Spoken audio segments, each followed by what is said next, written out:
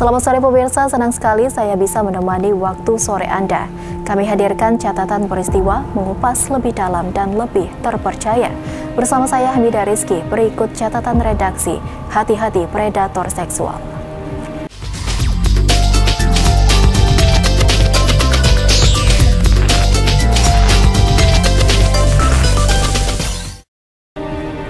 Seorang ayah sambung di Kabupaten Merangin tega melakukan pencabulan terhadap anak di bawah umur yang tak lain adalah anak tirinya yang baru berumur 12 tahun di kebun karet tempat ia bekerja. Bahkan perbuatan pelaku ini sampai membuat korban mengalami trauma. Biadab, kata inilah yang pantas diterima oleh Barudin, usia 40 tahun, yang merupakan warga desa Aur Berduri, Kecamatan Nolotantan, Kabupaten Merangin. Pria yang bekerja sebagai penyadap karet ini tega mencabuli seorang bocah wanita yang masih di bawah umur yakni berusia 12 tahun. Yang lebih menyakitkan lagi bahwa bocah yang dijadikan pelampiasan nafsu becat pelaku ini adalah anak sambungnya. Tindakan pelaku yang tidak manusiawi ini tidak hanya dilakukan sekali saja, namun pelaku diduga telah melakukan pencabulan terhadap korban terus berulang-ulang kali yang membuat korban mengalami trauma. Kasat Reskrim Polres Merangin AKP Lumbrian Hayudi Putra mengungkapkan bahwa pihaknya telah mengamankan pelaku karena diduga telah melakukan tindakan pencabulan. AKP Lumbrian Hayudi Putra menjelaskan, korban pada awalnya diminta oleh pelaku untuk menemani dan membantu pelaku bekerja menyadap karet di kebun. Kesempatan ini ternyata dimanfaatkan oleh pelaku untuk mencabuli korban. Saat ini pelaku telah diamankan di sel tahanan Mapolres Merangin guna mempertanggungjawabkan perbuatan yang telah ia lakukan kepada korban. Satu orang pelaku pencabulan anak di bawah umur. Nah, ini untuk pasal yang kita terapkan ini pasal 81 Undang-Undang RI nomor 17 eh, tahun 2016 dengan ancaman pidana ini 15 tahun penjara. Nah, untuk kronologis kejadian ini pelaku awalnya sedang memotong karet kebunnya bersama dengan korban.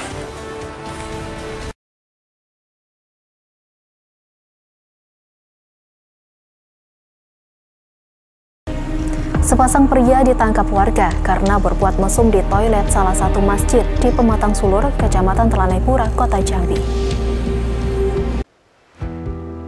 Warga RT 23 Pematang Sulur Kota Jambi menangkap dua orang pria yang diduga telah melakukan tindakan asusila di kamar mandi masjid pada Senin 7 November 2022 sekira pukul 11 waktu Indonesia Barat.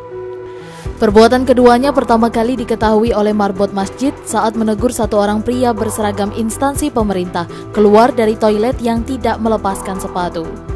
Marbot masjid pun terkejut melihat ada satu orang pria berusia remaja keluar dari toilet yang sama. Keduanya sempat panik dan kabur melarikan diri. Mereka pun akhirnya dikejar oleh warga. Salah satu pria berusia remaja yang diamankan warga mengaku telah disodomi oleh pria berseragam instansi pemerintah tersebut dari dalam toilet. Pasangan mesum sesama jenis ini pun menjadi bulan-bulanan warga karena kesal atas perbuatan mereka yang berbuat asusila di lingkungan rumah ibadah. Petugas kepolisian yang mendapat laporan warga langsung mendatangi tempat kejadian. Di RT saya, RT 23, Pematang Sulur. Posisinya saya lagi nyapu masjid. Lagi nyapu masjid, uh, ada seseorang pakai baju pegawai lah. Itu keluar dari kamar mandi. Saya tegur, Pak tolong Pak dilepas Pak sepatunya ini kan masjid nah, oh iya maaf. Dia lari apa berjalan ke arah motornya. Berjalan arah motor nah ngidupin motor. Tidak lama tuh satu lagi keluar. Berondong lah kata orang itu kan berondong muda. Berondong keluar lagi dari kamar mandi yang sama. Saya tanya eh kau dari mana tadi? Dari mana? Dia jawab ngapa kau nanya? tadi dia. Saya saya kejar dia berlari. Hmm. tapi sempat saya nahan yang bapak yang pakai baju pegawai tadi nahan kuncinya. Saya sempat ngejar yang satu lagi. Satu lagi lari ke lapang golok. Yang lari itu pria tuh pak? Pria. Jadi di, di dalam kamar mandi itu ada berapa orang? Berdua. Berdua? Iya. Pak itu yang pada saat ditemukan untuk yang satu orang itu mengakunya sedang berbuat apa pak? Uh, sebelum ditangkap yang yang satunya saya tidak tahu berbuat apa tapi dalam kamar mandi dia berdua gitu kan Hmm. laki sama laki setelah di- dapat satunya di dia lari dapat pengaku yang satunya dia disodomi Setelah berhasil diamankan, kedua pasangan sesama jenis itu dibawa ke Mapolsek Lanaipura untuk ditindaklanjuti.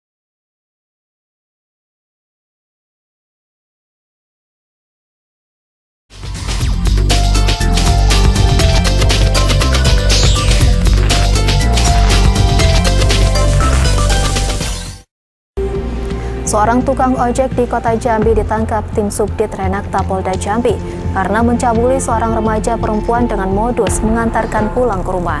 Korban dibujuk rayu hingga menuruti nafsu bejat pelaku. Roni, 52 tahun, warga desa Penyengat Olak, Jaluko, Muaro Jambi, ditangkap tim Subdit 4 Renakta Direktorat Reserse Kriminal Umum Polda Jambi karena mencabuli remaja perempuan. Aksi pelaku berawal dari bujuk rayu pelaku yang sehari-harinya menjadi tukang ojek menawarkan tumpangan terhadap korban yang tengah berjalan pulang di kawasan Murni, Lanaipura menuju rumahnya pada 16 September 2022 lalu. Awalnya korban menolak, namun pelaku menawarkan tumpangan secara cuma-cuma atau gratis. Kasubdit Renakta di Treskrim Polda Jambi AKBP Christian Adi Wibawa mengatakan, setelah berhasil diajak, korban dibawa berkeliling dan kemudian pelaku juga membelikan korban nasi bungkus. Selanjutnya, pelaku Roni mengajak korban ke tempat sepi di kawasan hutan dan semak-semak Jalan Lintas Nes, Pematang Gajah, Kecamatan Jaluko, Muaro Jambi. Dan di sanalah pria parubaya tersebut melampiaskan nafsu bejatnya. Tragisnya lagi, korban pun sempat memberontak saat diseret pelaku menuju semak-semak, namun korban tak mampu berbuat banyak karena korban dicekik dan diancam untuk dibunuh oleh pelaku.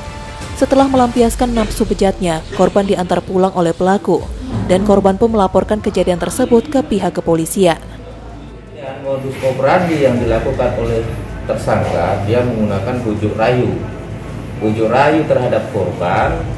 e, ketika itu korban akan e, pulang ke rumahnya dari e, sekitaran kuburan Singkawang Roni. Nah, kemudian pelaku yang berprofesi sebagai tukang ojek itu menawarkan dan merayu daripada korban untuk diantar ke rumahnya. Diantar ke rumahnya tetapi yang terjadi bukan diantar ke rumahnya. Dibawa ke TKP di sekitaran e, ya Pematang Gajah. Di sana dilakukan pemerkosaan ataupun persetubuhan dengan paksa sehingga e, korban melaporkan ke kita dan kita tidak lanjuti dan dilakukan e, pengungkapan e, kasus tersebut. Ya, kalau dari keterangan korban e, selain melakukan dengan upaya paksa sempat terjadi pengancaman. Untuk mempertanggungjawabkan perbuatannya, pelaku akan dijerat pasal 285 KUHP tentang pemerkosaan dengan ancaman hukuman 12 tahun kurungan penjara.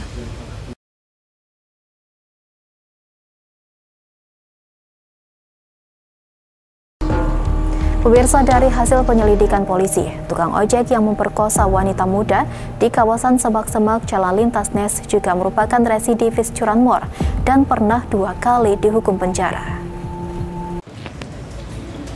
Dari hasil pengembangan polisi, Roni, pria parubaya yang memperkosa wanita muda di kawasan semak-semak Jalan Lintas Nes juga merupakan residivis.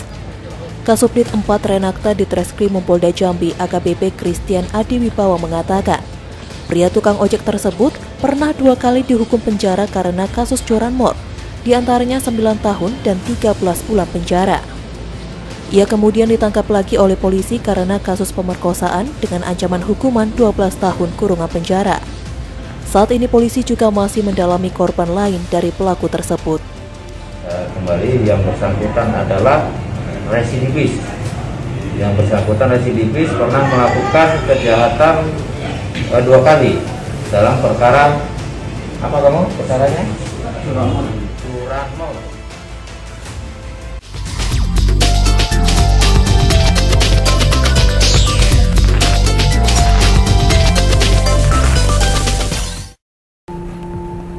Berawal dari kenalan di aplikasi Facebook, seorang pria yang sehari-harinya bekerja sebagai sopir truk batubara nekat mencabuli remaja perempuan yang masih di bawah umur yang baru dikenalnya. Korban dibujuk rayu dan dibawa ke pondok kosong untuk melampiaskan nafsu bejat pelaku. Seorang sopir truk batubara di Jambi, Kur alias Prengki, 20 tahun warga Sungai Bertamuar, Jambi, ditangkap tim Subdit 4 Renakta di Treskrimum Polda Jambi setelah mencabuli seorang siswi SMP di kota Jambi. Kejadian tersebut terjadi pada 24 Mei 2022 lalu di sebuah pondok kosong di kawasan Nes Muara Bulian, Batanghari.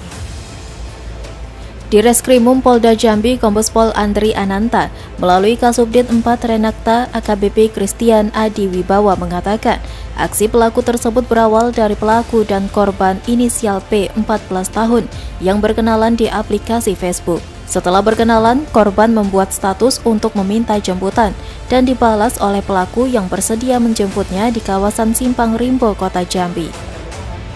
Setelah berhasil dijemput oleh Frankie, Korban dibawa ke pondok kosong di kawasan Nes dengan alasan pelaku hendak menjemput temannya. Di pondok tersebut pelaku mencabuli korban. Meski korban sempat melawan, namun korban tak mampu berbuat banyak karena diancam. Kemudian korban bersama pelaku, pelaku mengatakan pada korban, ayo kita ke rumah teman saya.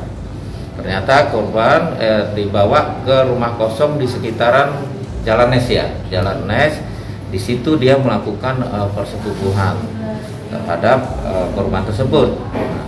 Sehingga uh, barang bukti yang kita amankan berupa baju ya.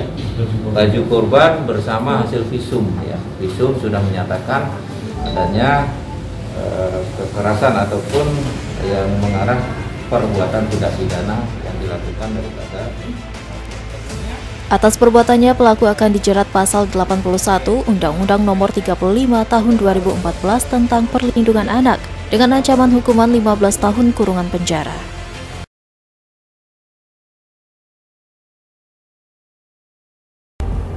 Polisi mengimbau orang tua untuk senantiasa mengawasi aktivitas dan pergaulan anak karena maraknya aksi pencabulan yang menyasar anak di bawah umur. Masyarakat diimbau untuk tidak segan-segan melaporkan ke pihak kepolisian. Dan informasi ini menutup perjumpaan kita kali ini. Mewakili tim redaksi yang bertugas, saya undur diri. Sampai jumpa. Kasubdit 4 Renakta Direktorat Reserse Kriminal Umum Polda Jambi mengimbau kepada orang tua untuk mengawasi aktivitas dan pergaulan anak karena maraknya aksi pencabulan yang terjadi pada anak di bawah umur. Aksi kekerasan seksual kerap terjadi pada remaja perempuan di usia labil, usia pelajar SMP dan SMA. Seperti beberapa kali yang kerap terjadi ialah pergaulan di media sosial. Polisi meminta orang tua meningkatkan pengawasan terhadap anak-anaknya saat tengah bermain. Hal ini untuk menghindarkan mereka dari tindak pelecehan seksual predator yang kerap menyasar bocah di bawah umur. Pihak kepolisian juga memastikan pihaknya akan memberikan respon cepat dalam pengungkapan setiap kasus perlindungan anak di bawah umur yang terjadi. Saya berpesan kepada masyarakat, terutama orang tua yang memiliki anak-anak, ya anak-anak rata-rata di usia SMP, SMA, yang usia di bawah umur, yang paling utama adalah pengawasan terhadap anak-anak itu. Kapan dia pergi ke mana, dengan siapa, apa kegiatannya karena sekarang modusnya sangat-sangat mudah dengan melakukan media sosial kemudian dia melakukan bujuk rayu dan sebagainya mudah terpengaruh. Ingat anak-anak sekarang modalnya masih labil mentalnya.